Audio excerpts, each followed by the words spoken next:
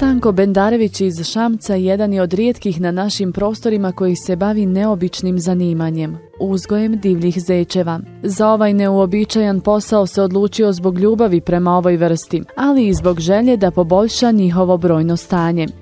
Zečeve koje uzgoji nakon odrastanja mogu se u potpunosti prilagoditi životu u divljini, kaže Stanko. I dodaje kako nikada nije ustrijelio divljeg zeca, iako se lovom bavi duži niz godina. Šta podrazumijeva uzgoj divljih zečeva i zbog čega se samo rijetki odlučuju na ovaj neobičan posao? Odlučili smo provjeriti u Šamcu kod Stanka Bendarevića.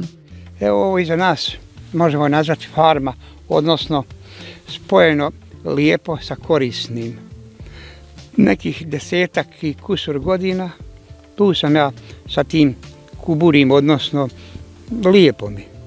To je bilo prvi koraci, to su bili pionirski koraci tantalove muke, nisam imao ni znanja, Bog zna, nekih dva puta iz neznanja sam krenuo sa nule, jednom sam krenuo zbog poplave sa nule, ali eto nisam, nisam nikad to htio da odustanem u ovom poslu jedini saveznik. Nauka je ovdje malo štura. Jedini saveznik u ovom poslu je rad, red, strpljenje. Evo vidite iza nas ovdje. To imate nekih, ne nekih, nego zapravo 51 porodicu. Tu je spojeno muško i žensko, njihova je uloga, reprodukcija. Te mlade nakon izvjesnog vremena odvojim i ti mladi će ići u lovačka udruženja gdje će biti povećan broj populacije i osježena krv e, lovačkim udruženjima koja unesu ovu divljač. Ovako da smo nastavili nepravilan izlov, herbicidi, saobraćajnice, e, predatori, sve, sve se e, svilo na jednu toju malu životinju Samo smo mogli vidjeti zeca na lovačkom kalendaru i nekim, na nekim slikama. Međutim, evo, pokušavam ja da to malo vratim u prirodu, da to bude od toga nešto. Ima lovačkih druženja koji su uspjeli, ima lovačkih druženja, ne znam im ja, šifru, koji nisu uspjeli na ovoj unošenju ove vrste. Mm. Kakvi su bili početci? Sa koliko ste eh, zečeva počeli i kakve su bile reakcije?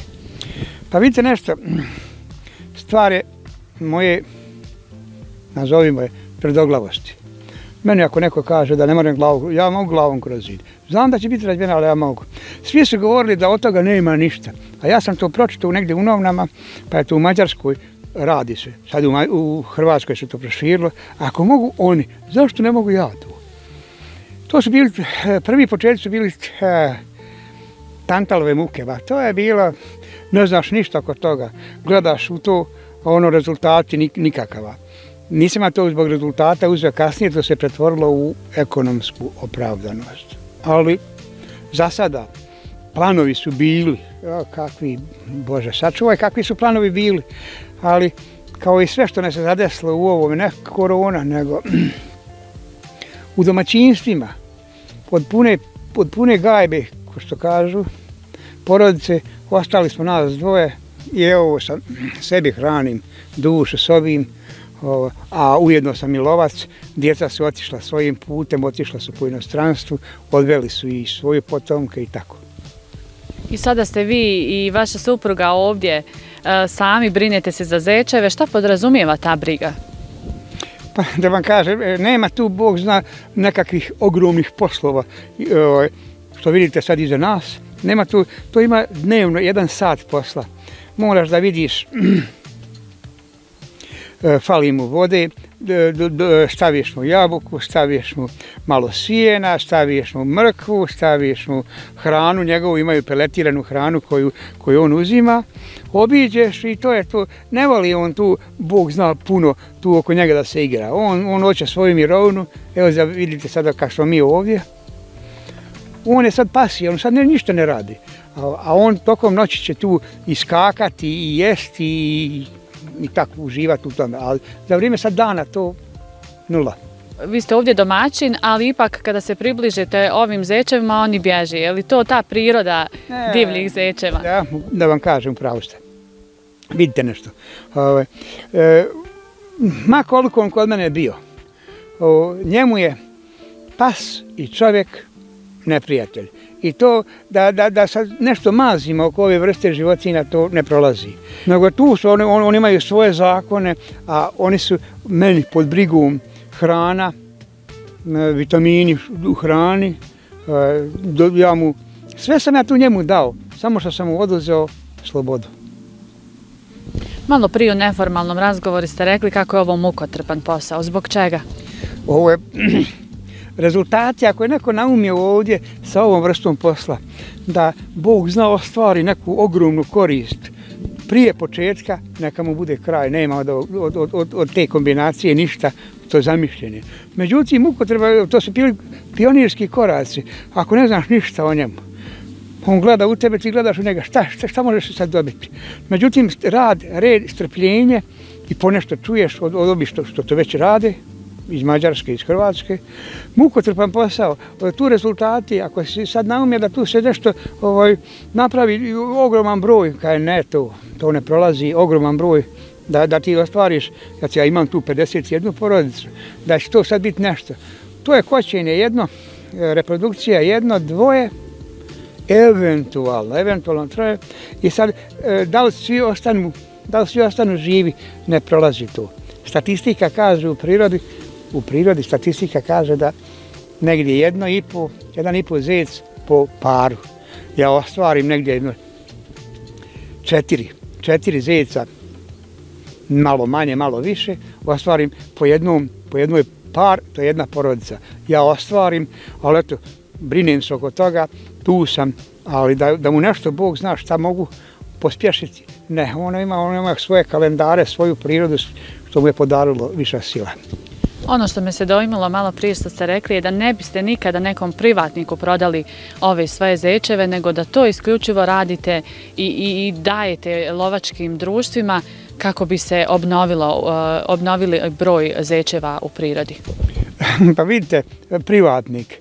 Privatnik kao privatnik, da sad on dadne, ovaj, da kaže, eto, ovaj zec košta nekih 90 do 100 eura, on košta otkud kao tako basnoslovna cijena.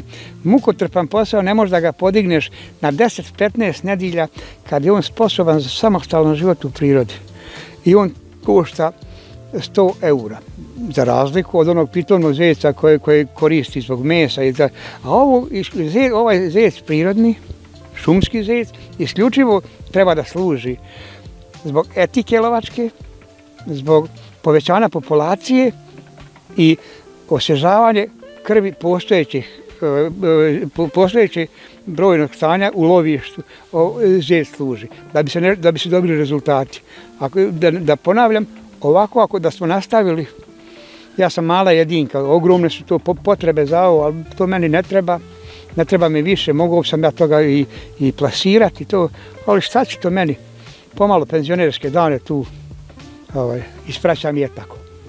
Je li neko od članova porodice zainteresovan da nastavi se baviti ovim poslom? pa svi su oni, to je sve otišlo, otišlo, metilo je pasoš u džep i to je otišlo. Makoliko bio zainteresovan, ali to je sa pasošem u džepu, to je otišlo ispod ovog neba. Ja i supruga tu, eto, pomalo tu, pomalo tu čuprijamo, čivijamo, drlimo, tako, jel, ovaj, premoštavamo i eto, zadovoljstvo nam je to, eto, da malo, ovaj, kad sam naj negdje umorniji, ima u mene još nekog rada, kad sam najumorniji, dođem ovdje i gledam ja kako šta, šta radi, zuji, skače, bježi i tako dalje. I kako je sada, evo, kad je hladno, snijeg je tu, kakva sada briga protiče, je li im odgovaraju ovi uvjeti? Ne smeta mu, ama baš došlo bi se mu ništa ne smeta, čak voli, čak voli. Ja sam pošto nisam znao ništa oko toga, ja sam ustaju da, da nešto mu pomognem, jedan zima, kak, kad je oliko zima meni u kući, šta je njemu, jok, kakvi on to voli. On doslovice, ništa mu ne smeta, po 20 cm snijega na njega, ništa to njemu ne smeta, on, on gleda u mene, a snijeg na njemu, to, kao, kao da, da mu je to pokrivač. Na svakom kavezu jedna je porodica, ovaj, svaki kavez ima svoju brojku, svaka brojka ima svoju stranicu u rokovniku i pratim tih, prati pratim porodice, šta mi je ova dala od rezultata, šta je ova promašila, gdje sam ja promašio? Svaki kavez, ovaj, da ne navedem primjer, recimo kavez 42, ovaj, dođem u, kuću i otvorim tu stranicu da vidim šta mi je dao, šta je izgubio, eh, koji mi je rezultat i od njega ostavljam ovaj, potomstvo. Evo, rekao ste malo prije da ste penziju zaradili kao vozač. Koja je razlika između tog zanimanja i ovog sada posla? Pa da, dobro da vam kažem. 60 i kusur godina, na leđima je, kilometri su tu, malo i leđa slomili, ali eto zdravlje me nosi, još, još doktori ne, ne pišu ovaj, preporuku za lijekove, pa, pa, pa razlika je, ovo, posao vozača se zapinje leđima, a ovo ti je, ovo ti je saradnja sa prirodom, rad i strpljenje. Ne možeš ovo ni smanjiti, ni povećati, nego prepuštiš se prirodi, naravno da se brineš i o zdravlju njihovom i, i o smještavi i tako dalje, ali dok bi to ne rekao za vozača, nije tako. Ali eto, nekako, nekako se mirovina stvarila, pa pomalo se raspoređuje i dobro mi je. Djeca su tamo uhvatila preko granice, otišla je to sve za svojim pravicom i onda tako ovdje na, našao sam se. To je to. I evo, da li se planirate i dalje baviti ovim? Pa, teško mi je to, ne znam. Pa, ne smijete mi, nisu teški posla. Ako je dnevno jedan sat posla, ovaj, nije to teško, ništa. Međutim, e, kome? Meni to za sada ne treba. Pitao sam djecu da li njima treba, kao i njima to ne treba. I onda ne znam, dok ja budem mogao se kretati i dok budemo se ovdje ovak tako ponašali, ja ću, bit će to iza mene ovo do sada. Sveo sam ja to na najmogu mjeru. Plan je bio da ja godišnje proizvedem hiljadu sposobnih sečeva za za prirodu, da ih, da ih pustimo u prirodu, da imamo rezultate, da nama lovcima etika prevlada. To je bio plan. I bio sam na tom tragu dobro, međutim, to moja ovaj, familija, oni su drugog pravca uhvatili, otišli, ne vide ispod ovog neba, Bog zna šta, i onda, i onda ja sam to sveo za sebe i za suprugu da nam bude dobro, priuštim i za, meni za leđa, gdje sad se mi nalazimo, priuštim solidnog godišnjeg odmora, malo banje i tu si u, u protokolu među društvom, ne fali mi ništa, eto, otprilike to je to.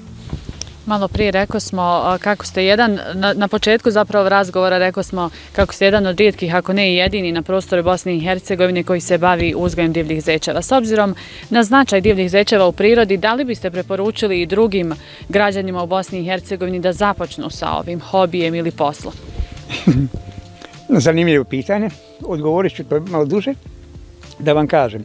Svi oni vide kad ja pomenem sad tu cijenu od 100 eura za svi oni vide da je to ogromno, ogromna cijena.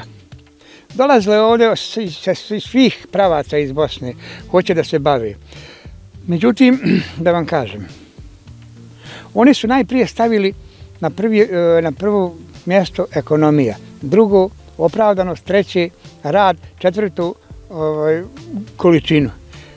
Da ne prolazi po mome, kad sam ja to pošao, ne prolazi to. Svi bi oni to na brzinu, ako bi se moglo šta, da se to ovaj, ostvari cilj, da, da se vidi cifra koju sam dobio, kad sam ja to njima sve lijepo ispričao, aj ti kaj i dalje to radi, odnosno imam na drugih pravaca. Dakle, ne isplati im se toliko raditi, ali... Nije velik posao, nego hoće se, ovaj, hoće se, hoće se na, na, na, na neku, Odmah rezultati. Na neku šuplju priču, hoće se ovaj, para neki zaraditi, ne prolazi to to ne prolazi, u ovom poslu to ne prolazi. Ovaj, ja kad sam to počinju, to su bili basnoslavni, ovo gdje mi sad stojimo, to je bilo prašuma. Ali ja sam to, to nijesam žalio, vratilo je se to sve, nema govora. Ovaj, to je, ovaj, kad sam to polazio, nisam, bilo je, bilo je i sredstava, i ove, nije, ovaj, sve su to zečevi meni vratili. To. Ali ovaj, sad širenje, ne pada mi više na pamet, s ovim sam našao se nek, na nekih 50 porodica, a nekad je to bilo, vidite, i za mene i 70 je tu bilo. Bio je plan na 200 i tako dalje i tako dalje. Međutim, to je sada, to je sad neka druga priča. Za ovaj kao i druge poslove, kaže Stanko, potrebna je ljubav koja će vas držati kada loše krene. A iako je imao brojne poteškoće, Stanko nije odustao od svog cilja da popravi brojno stanje divljih zečeva. Iako je planirao proširenje posla, Stanko kaže kako zbog odlaska djece i unučadi u inostranstvo o tome više ne razmišlja. Zadovoljan je trenutnim stanjem koje mu u penzionerskim danima predstavlja i tekakvu razonodu.